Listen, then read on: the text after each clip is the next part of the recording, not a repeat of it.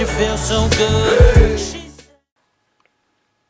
Weather, let's say you don't you don't have a weather app, it'll tell you the weather app up here in the top of the notification bar. I already have an app right there, so I don't use that. LED options.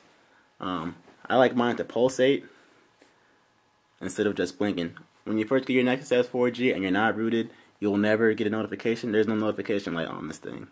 When you do root, you can get it, and normally you have to put a custom kernel on top of the ROM that you're running. But luckily, this ROM uses a kernel that already takes, um, it will already let you use the soft buttons as a notification light and mine pulse. So I will show you what that looks like. Let me uh, go to my text real quick. So I send myself an email or I send myself a text and uh, you should see the right there that you see the buttons blinking right there so that's nice. Instead of when it's in the corner out of my eye it can it kind of catches my eye more than a solid light so that's why I like to have that uh that's why I like to have that blinking. Make sure you don't see that my number.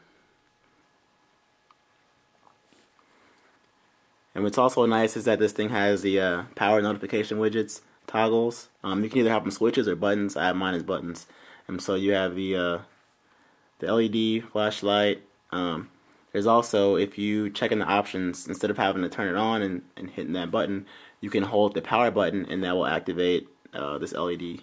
But I don't think I have the, uh, I don't think I have that, yeah, I don't have it uh, checked. But um, Wi-Fi, um, rotation, sync, fast charge.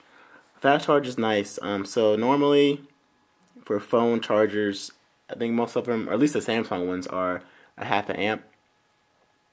When you, so that makes your phone charge like kind of slow. But if you have this enabled for this fast charge, what will happen is, um, if you do have a charger that outputs one amp, like uh, like uh, my old Hero charger. If you have my check out my old videos, you know I used to have a HTC Hero. Um, the Hero out chart outputs one amp, or car chargers also. When you have your phone off and it's charging, it'll give the full one amp to your phone instead of just the half amp that phones uh, restrict the charge to. And you have uh, mute and vibrate. And what's also nice is this has the built-in hotspot uh, toggle. So if you want to do your tethering on, you got a laptop but you don't have a internet connection around, you can use your phone as a hotspot. So you just tap that, and uh, after you enable it, and it'll say hotspot active, touch to configure and then you just go ahead and configure it. You can put a password on it, whatever you want to do. I'll turn mine off right now. Make sure I didn't forget any settings. Um, but in general, you can hide the toggles. So let's say you don't want them all the way there. You can, oh, sorry about that. That's how you get to the menu.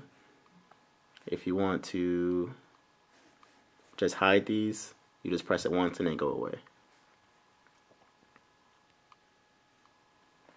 Brightness control you can also control the brightness from here or auto brightness.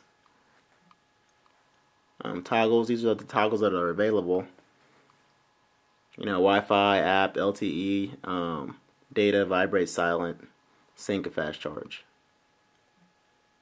Like I said if you want switches you can also do switches. I'll show you that.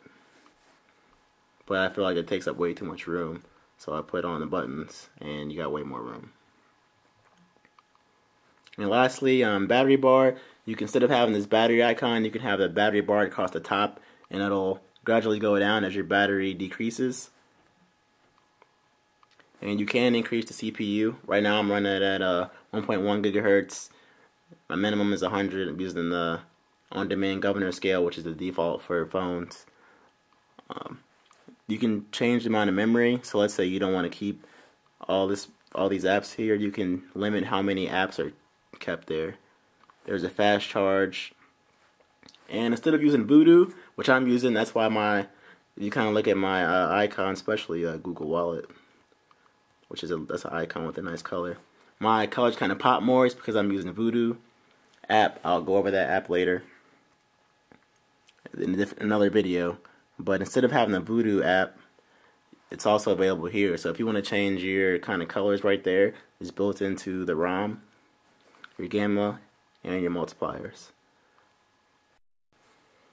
And also I want to show you that this ROM has some of the latest stuff in it that's out. Um, if you don't believe me, I'll show you the about phone. Right there, you'll see it is running Android 4.04, which is the latest. And I'm on build uh, 3.0 for this. And I'll show you that uh, we're also running on the Play Store, so Play Store works.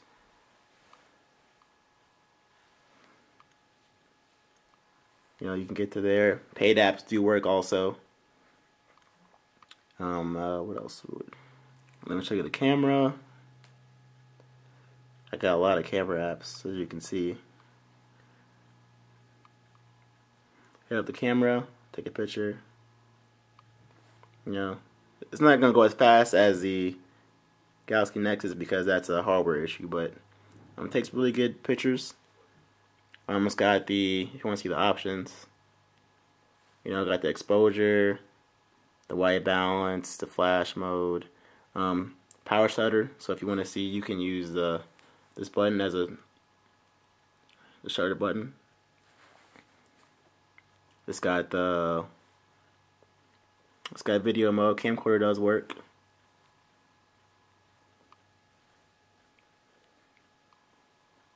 If you want to see the camera options, um, I believe the effects don't work. I think it shuts down when you use the effects, so I'm not going to try that. But white balance, it's got a timer on there, time lapse, and storage location and power shutter works on that as well. And lastly, it has the panorama. So if you want to put a panorama picture together, I think I did one earlier. Let me see if I can find that panorama that I had. I'm not gonna find it, but it does work. And so those are the latest apps. Let me make sure I don't have anything else that you would want to know about it. Oh, oh yeah, Google Wallet. Let me show you that Google Wallet does work. Go here. And as you can see, I got uh says verified and my prepaid card does work. You can add more cards, um, payment cards, rewards card, transactions, offers. Like Google Wallet works just fine. So that is it. Um, Slim ICS, like I said, it is the definitely the fastest ROM I've ever tried. Um, if you have any questions or comments, let me know. Just post them uh, below the video. You know, I'll always get back to you as soon as I can.